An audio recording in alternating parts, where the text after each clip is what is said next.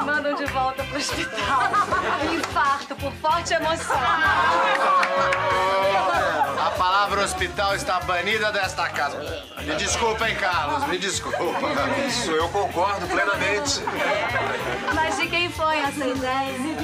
De todo mundo. Bom, eu trouxe um bolo. Cadê o bolo da Marta? Botei na geladeira, porque os brigadeiros são os petiscos de coco. Vem, amor, vem. Senta um pouco, dona Marta. Ah, ah, Dona Marta é o nome de morro. Morro de Dona Marta, ali em Botafogo. Eu sou Marta, só Marta. Senta um pouquinho, Marta. Tá bom. Sabe que minha madrinha foi contra esse nome, né? Ela dizia que toda Marta é mártir, mas minha mãe nem ligou. Hum, bem que eu vi que o Bruno tem jeito com criança. Esse aqui tem vocação pra pai. Pra pai e pra mãe. É um doce de homem. Mas, Bruno, que prestígio com as garotas, hein? Na sua idade, se eu tivesse esse cartaz todo, acho que eu ia enlouquecer. Ah, não, não, não. Não vem não que a minha avó me contava que você fazia as meninas entortarem o pescoço. É, elas iam andando, olhando pra trás, olhando pra trás e algumas davam de cara no poste.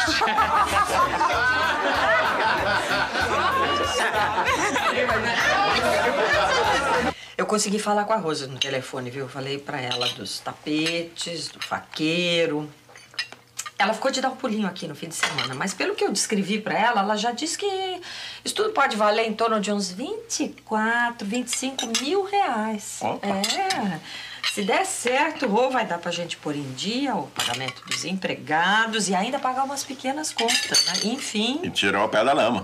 Ai, Rô, detesto essas expressões do Gomide. Tirar o pé da lama, e segurar o pepino. Coitado do gourmet. Sabe que ele levou um tombo ontem num negócio que ele entrou sem nenhuma garantia. Mas eu avisei. Eu, eu tenho experiência, né? Eu falei, Gomide, não entra nessa. Ele não quis me ouvir. Levou um tombo de 300 mil reais. Nossa, 300 mil? É, e quebrados. Ah, e também tem outra, outra coisa. Um negócio que ele era. Ele era fiador, né? E o camarada não pagou. Pimba, 75 mil reais. Cruzes. Antigamente isso não era nada, né? Realmente não era nada, mas agora é uma hecatombe. É verdade. Você não leu? Você não leu que diz que nem os ricos estão podendo mais ir tanto a restaurantes? Por isso que estão dizendo que que estão reduzindo os preços dos restaurantes. Deu isso na televisão. É verdade. Tem que reduzir. Tem que reduzir. Os ricos estão desaparecendo na cauda da classe média. Daqui a pouco só vai existir os bilionários ou os miseráveis. É verdade. Cruzes. Por isso que nós temos mesmo, Rô, temos que fazer isso que nós estamos fazendo e vender essas nossas coisinhas, tapete, faqueiro, né? Não, porque pensa, se amanhã. Olha, vou dizer uma coisa pra você. Se amanhã a gente morre deixando tudo isso para os nossos filhos, tapetes, cristais, faqueiro, tudo isso, sabe o que, que eles fazem? Eles vendem no dia seguinte. Te garanto que acabam não comprando pra gente nem duas velas acesas na igreja de Copacabana, naquela das almas. Você tem toda a razão.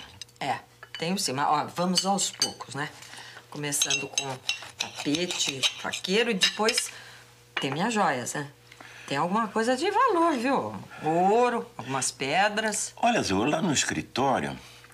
Lá no escritório eu tenho aquele relógio lindo que foi de meu pai, antigo, inglês, né? Bryson Sons, ele.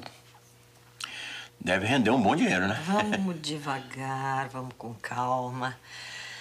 Primeiro vamos nos desfazer disso, tapete, faqueiro, que são coisas de que a gente menos precisa, né? Uhum. Pela conversa, acho que eles vão vender tudo. Até as joias. Ah, só espero que ela não venda o medalhão de ouro que ela me deu. Ah, se ela lhe deu, não vai vender. Olha, a dona Zuleika pode perder tudo, menos o caráter. Peraí. Chica!